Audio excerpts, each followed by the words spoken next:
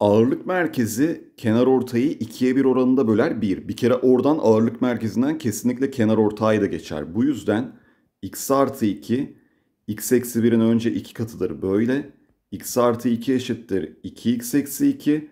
x buradan 4 yapar arkadaşlar. x 4 olduğu için 6'ya 3 olur. Kenar ortay geçtiğini sakın unutmayın. Yani BD ile DC'nin lütfen eşit olduğunu gösterin. Bu arada bir dik üçgende kenar ortay böldüğü parçalar eşittir. Yani muhteşem üçlüdür. Bu yüzden BD DC'ye eşit 3 3 6 oldu. E şıkkı. Şimdi bir kere ağırlık merkezi dendiği için soruda şuranın 6 olduğunu görmeliyiz BG'nin. Bir de arkadaşlar sonuçta kenar ortayları bazen böyle uzatırız tamam mı? Burada da GC'yi uzattığımız zaman şöyle bir TC kenar ortayını elde ederiz. Kenar ortayları gösterdiğiniz an bence soruda işinize yaramasın, yarasın, alışkanlık olsun. AEEC'nin eşit olduğunu, AT, TB'nin eşit olduğunu gösterin. Bak burada o zaman şöyle bir güzel taraf da oluyor. Burası 90 derece olduğu için AT, TB'ye eşitse muhteşem üçten TG de bunlara eşit. Böylece arkadaşlar kök 13 ağırlık merkezi 2'ye 1 oranında bölüyor. Sonra burası kök 13, burası da kök 13. Bak böyle bir AGB Pisagor'u yapabilirsin. Kök, 2 kök 13'ün karesi 52. Sonra BG 6'nın karesi 36 artı AG'nin karesi. AG'nin karesi 16. AG arkadaşlar 4 oldu. 4 olduğu için ağırlık merkezi oradan geçiyor. Haliyle bu da bir kenar ortay. 4'e 2 oranında bölünecek. B şıkkı. Merkezi kenar ortayı 2'ye 1 oranında böler. Böyle 12'yi yazarız. Sonra arkadaşlar lütfen burada yine hatırlayalım. Kenar ortay böldüğü parçalar eşittir. Dik üçgende muhteşem üçlü 18. 18 olduğuna göre DF 8 yaptı. Açı ortayı da unutmayalım. 8'in 10'a oranı böyle 8'in 10'a oranı. Kenarların oranı parçaların oranına eşittir. Sadeleştirirsek 8 bölü 10 gelir. AE'nin ED'ye oranı 10 bölü 8'den 5 bölü 4 yapar. C şıkkı. Kök 5, 2, 2. Bir kere 4 karesi 16, 20 karesi böylece 36 geldi hipotenüs. Yani aslında 6 oldu. Şimdi bundan sonra iki kenar ortayın geçtiği yerden üçüncüsü de geçer. Ve kenar ortay olduğu için şöyle bir h dersem BH'ın HC'ye ve muhteşem 3'ten dolayı AH'ın da bunlara eşit olduğunu görelim. 3 3 sonuçta ağırlık merkezi bu AH'ı da 2'ye 1 oranında böler. 1 burası, 2 burası. Cevap A şıkkı.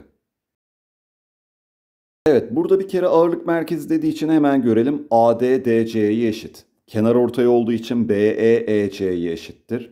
Sonra arkadaşlar şöyle bakın ağırlık merkezi kenar ortayı 2'ye 1 oranında bölüyor ya. İşte dikten dik indiğinde Öklit burada işimize yarayacak. K çarpı 3K eşittir 2 kök altının karesi 24 yaptı. Buradan da o zaman K kare 8 oldu. K 2 kök 2 oldu. Şimdi bir öklit daha olayı hallediyoruz. Neden? Bu sefer x kare kendisine yakın olan parça çarpı tabanın tamamı. 2k çarpı 3k eşittir x kare. k'yı 2 kök gibi bulmuştuk. 6 çarpı 8'den 48 eşittir x kare. Yani x 4 kök 3'müş arkadaşlar. Yine bakın öklit karşımıza geldi. D şıkkı. Ağırlık merkezi ADC'de ağırlık merkezi. Evet burada iki tane ağırlık merkezi verilmiş. Yani bunlar doğrusal bakın böyle birleşmiş. Şimdi buraya 2M desek M olur. Şuraya N desek burası da 2N olur. Böylece BD uzunluğu 3M artı 3N 24. Bize sorulan arkadaşlar GG üssü yani M artı N. Böl 3'e cevap 8'miş. D şıkkı. Tane ağırlık merkezi verilmiş. Dik üçgen var arkadaşlar. AG'yi şöyle uzattığımız zaman ve DG üstünü uzattığımız zaman ikisi de kenarlarını ikiye bir şey kenarı ikiye böldüğü için tam böyle bir T noktasında kesişirler doğru mu? Çünkü bu da kenar ortay BT TC yapıyor DT oluyor.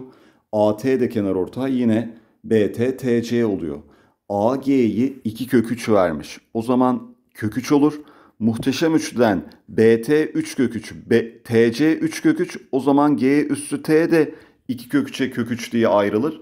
Bir de bize ACD'yi neden 60 derece vermiş? Şimdi burada şöyle bir alfa desek. İkizkenardan alfa, iki iç bir dıştan iki alfa olur. Sonra yine tabii ki diğer açıyı da bilmiyorum. Eşit sakın bölüyor demeyin. Bilmediğimiz bir açı beta. Burası da beta, burası da 2 beta. Böylece bakın alfa artı beta 60 olduğu için 2 alfa artı 2 beta da 120 derece oluyor. Şöyle bir üçgen geliyor. 120 derece, kök 3, kök 3. E 120'nin özelliği 30 30 120'de a a a kök 3'tü. Bu yüzden cevap 3 oldu. Dediğim gibi arkadaşlar burayı hocam 30 verdim, burayı 30 verdim geliyor ama sonuçta bu üçgenlerin birbirinin aynısı olduğunu bilmiyorsanız sakın oraya öyle uyduruktan açılar vermeyin. Tesadüfen çıkar ama sınavda sorulan soruda sıkıntı yaşarsınız. O yüzden neyse o gösteriyorum ben. Noktası ABC'nin ağırlık merkeziymiş. O zaman burası 2'ye 1 oranında bölünür. Sonra bu böyle bir kenar ortağı yapar. Şöyle bir AN dersek sonuçta ağırlık merkezinden geçen doğru kenar ortaydır. Bir de açı ortaydan geçen bir kenar ortay aynı zamanda ikiz kenarı getirir bize. Şöyle T dersek AT de TB'ye eşit olmalı. Kenar ortay olduğu için e bu aynı zamanda açıortay bu yüzden burası yükseklik oldu. Yani şöyle buraya YY dersek buraya da 2Y demeliyiz arkadaşlar. Bu soruda direkt AC ile CB'nin eşitliğini kullanmadık ama o kenarda dursun. Bu soruda hani yapmayacağız. Sadece söylemek istedim ikiz kenarı da görün diye. Şimdi bizim için bu soruda önemli olan 12 ise burası 6 değil mi? Bu arada 90'ı nasıl kullanacağım? GT DB'ye paraleldir ve 1'e 2 oran orta taban bu yüzden 12 oldu A şıkkı. Temel benzerlik bilgilerini bir kullanalım bakın. Şimdi kenar ortaydan dolayı BD DA'ya eşit ya arkadaşlar. Haliyle ben şöyle bir AT tabanını indirirsem burası bir kere 24 birim olur tamam mı? Neden söylüyoruz bunu? Çünkü şuradaki DH orta taban oldu birebir orandan dolayı. O zaman aynı şekilde BH da HT'ye eşittir. Şuraya A diyeceğim. O zaman arkadaşlar HT'nin de A olması lazım. Orta noktadan bak buraya A eksi X kaldı değil mi? Bu arada aynı zamanda üçgenin AF'sinin bir kenar ortayı olduğunu unutmayın. Bakın burası A artı X. O zaman aynı şekilde FC'nin de A artı X olması lazım. Yani A eksi X burada olduğu için buraya 2X kaldı arkadaşlar. 10, 24, 26 üçgeninden TC 10 oldu. 2x 10 olduğu için x 5 geldi A şıkkı. Biraz zor soru. Ağırlık merkezi çok aşırı kaymış sola doğru ama biz yine de yapalım normal. Şimdi 8'e 4. Doğru mu? Sonra arkadaşlar şöyle 20'yi uzatırsak 2'ye 1 orandan dolayı 10. 6, 8, 10 üçgeni. Bu arada dediğim gibi şekil biraz kaymış ama yapacak bir şey yok. Ağırlık merkezinden geçen doğru kenar ortaydır. Şöyle T dersek AT 6 ise TC de 6 olur. Böylece arkadaşlar şurada bir ikizkenar üçgen çıktı. 12 ve 12. Demek ki 12 kök 2'ymiş. Bu arada x değil tabi burası. Şöyle bir S dersek SC 12 kök 2 ise BS de 12 kök 2'dir. Çünkü AGS 1 kenar ortay arkadaşlar. Cevabımız bu yüzden 24 kök 2 D şıkkı. Arkadaşlar bir dik üçgen çiziyorum.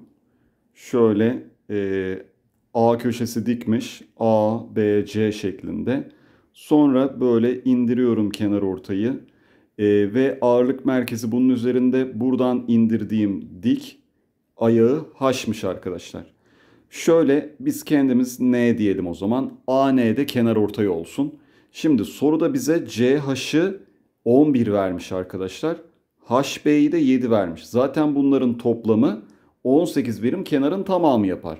Böylece 2'ye böldüğümüz zaman 9 9 bölünmesi lazım. CN 9 olduğuna göre şuradaki NH'a 2 kaldı. Sonra muhteşem üçlüyü aman unutmayalım. CNNB'ye eşit ve AN'ye eşit. 9'u da 6'ya 3 diye böleceğiz ağırlık merkezinden dolayı. Şurada ufak bir dik üçgen bakın şöyle.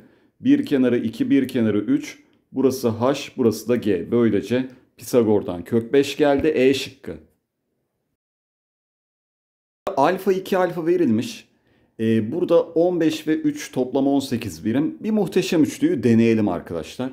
Yani bazen çıkış noktamız olmadığında bunu bir denemek lazım bence. Dolayısıyla burada AN kendim çizdiğim için tabii ki BN ve NC'ye eşit olacaktır arkadaşlar. 18 olduğundan dolayı burası 9. Muhteşem üçgen 9. Buraya kaldı 6 birim. Şimdi bakın 2 iç bir dış alfa alfa muhteşem üçten dolayı 2 alfa. Gördüğünüz gibi ikizkenar bir üçgen geldi. Demek ki arkadaşlar burada ikizkenar üçgende tabii ki taban verildiğinde veya bulunduğunda tabana diki indiririm ben. Şimdi bulmam gereken x. Öklit kendisine yakın olan parça şu 15'i karalayayım engellemesin görmenizi. Şurası tamam 3 görmemize bir mahsur yok. Bakın şimdi 9, 3 daha 12 kendisine yakın olan parça. Tabanın tamamı 12 artı 6'dan 18 eşittir x kare. Böylece x 6 kök 6 oldu E şıkkı.